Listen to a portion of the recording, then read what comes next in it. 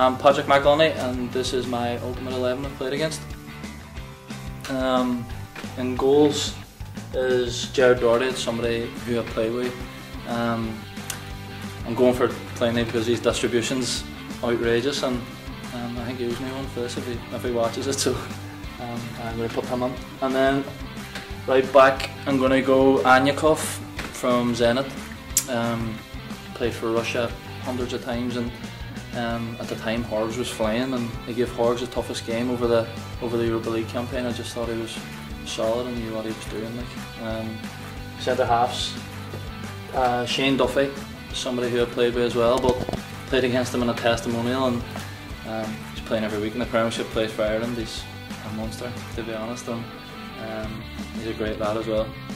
The other centre half was Ron Vlaar from AZ Alkmaar. Um, again, it's he's a big man, big strong man, and it's sort of going against what I what I really loved as somebody playing football. But he was um, a monster, big man.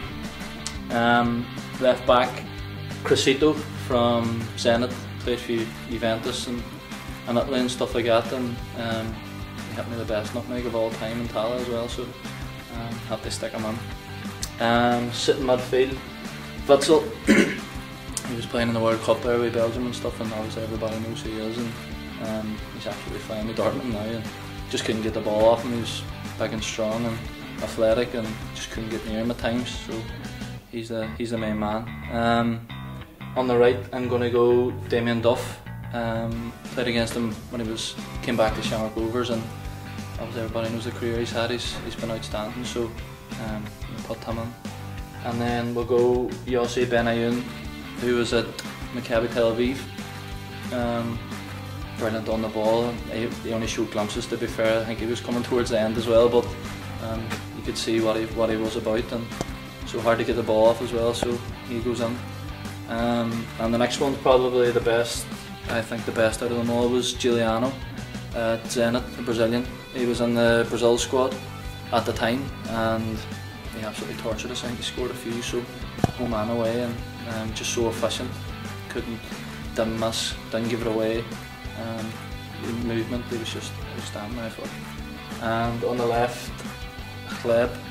Um, again, he was coming towards them, but he was like biscuit hips. He couldn't. And when he got the ball, he was just shimming past people, and if he got too tight to him, he could get away from you either side. And I'm sure the defensive lads will be able to tell you that. Um, and then up front, um, we go Sean Maguire.